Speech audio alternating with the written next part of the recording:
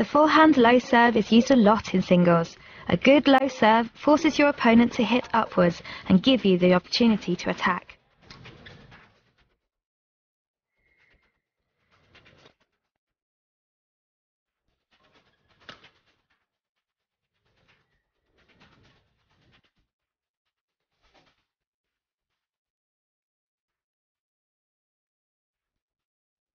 The aim of the forehand low serve is to land the shuttle in the front of the opponent's service box, bringing your opponent forward and trying to force a lift.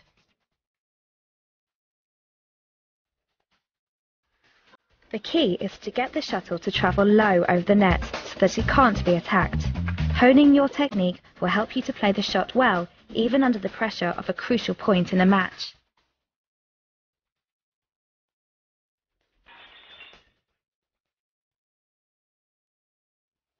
Using a forehand grip with a high racket carriage, take a balanced stance close to the centre of the court. Weight transfers from the back foot to the front foot. And the racket hip begins to move forward. The arm supinates in the backswing and the wrist is bent back. The wrist remains bent back on impact. After impact, the forearm pronates as the follow-through is completed. Note that impact takes place in front and to the side of the body.